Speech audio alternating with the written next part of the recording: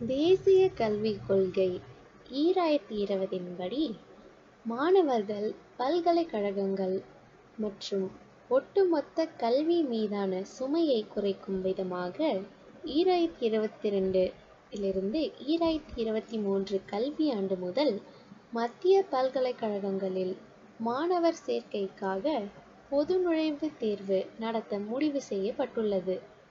மக்களவையில் கேள்வி ஒன்றுக்கு எழுத்து மூலம் அளித்த பதிலில் இதனை தெரிவித்துள்ள மத்திய கல்வித்துறை இணையமைச்சர் டாக்டர் சுபாஷ் சர்க்கார் சம அளவிலான பல்வேறு தேர்வு வாரியங்களில் பயின்ற மாணவர்களின் திறனை மதிப்பிடுவதற்காக இளநிலை பட்டப்படிப்புகளுக்கான பொது பல்கலைக்கழக நுழைவுத் தேர்வு நடத்தப்படும்.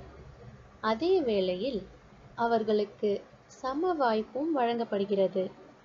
மாணவர்கள் தாங்கள் விரும்பும் ஒன்றுக்கு மேற்பட்ட பல்கலைக்கழகங்களில் ஒரே விண்ணப்பம் மூலம் விண்ணப்பிப்பதற்கான வாய்ப்பு வழங்கப்படுவது அவர்களது கட்டணச் சுமையை குறைக்கும்.